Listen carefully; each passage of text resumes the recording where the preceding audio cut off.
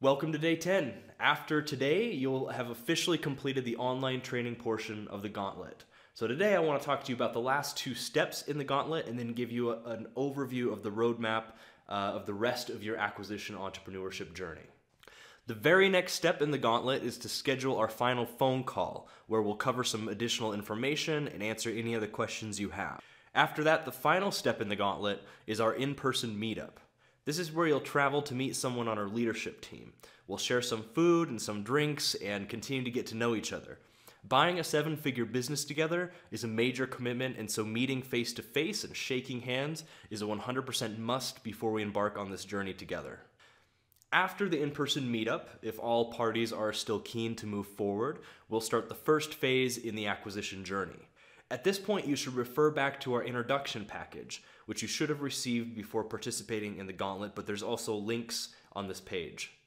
Phase one of our acquisition roadmap begins, like I just said, after the in person meetup portion of the gauntlet. Uh, during this phase, you'll work with us to find, diligence, and close on a business. And this can take up to six months, depending on whether or not we're using bank financing uh, like SBA. So please refer to phase one of the introduction package for full details. Again, there's a link there that you can click on. During phase one, you'll also receive additional training in a similar style to the gauntlet. This training exists to prepare you to take over the business with confidence and effectiveness. We'll be covering everything in phase two, which I'm going to talk about here in a second. We'll be explaining the philosophy behind each item in that phase. We'll be providing a systematic framework for it, and then we'll be actually be giving you some exercises that apply that framework to a fictitious business. So it's really going to prepare you well for the real thing. Phase two in your acquisition roadmap begins as soon as the deal closes. During this phase, we'll be onboarding the business as well as systematizing and fireproofing it by applying the Acquira Systematic Excellence Program, or ASEP.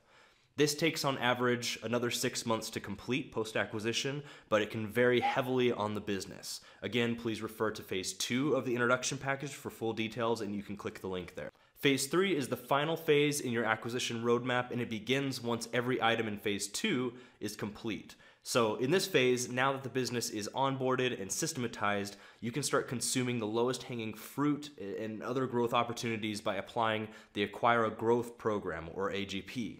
This takes on average another six months to complete, and the vast majority of this is completed by external contractors, which Acquira will introduce to you and the business will pay.